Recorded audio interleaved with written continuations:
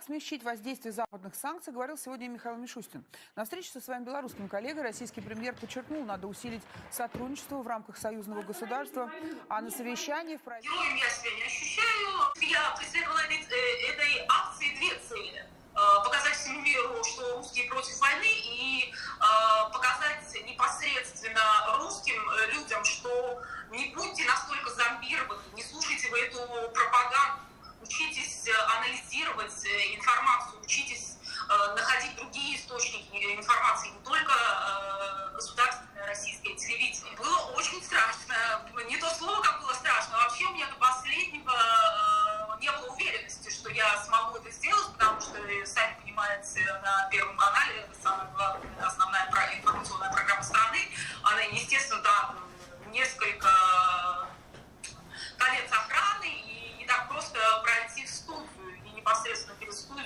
соответственно, сидит сотрудник правоохранительных органов, который э, тщательно следит, чтобы не было таких э, похожих инцидентов.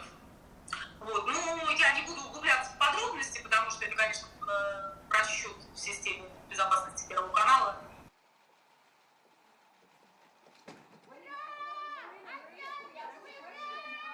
Я хочу поблагодарить всех э, за поддержку, друзья, коллеги. Это была действительно очень э, сложная э, сложные дни в моей жизни, потому что я провела буквально двое суток без сна. Ну, как бы я уверена в том, что я сделала, но теперь я понимаю весь масштаб проблем, которые, с которыми мне придется столкнуться, и, конечно, я очень сильно беспокоюсь за свою безопасность конечно, э, думала об этом, что э, возможно будет уголовное преследование, но, честно говоря, я э, надеюсь все-таки этого избежать. И если в конечном итоге, конечно, мне придется сесть за свои убеждения в тюрьму, я надеюсь, что этот ну, срок будет минимальный.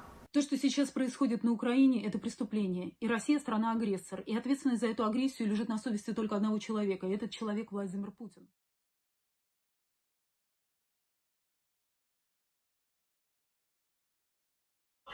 Противоречия, я думаю, в современном мире можно решать э, путем дипломатии, а путем войны.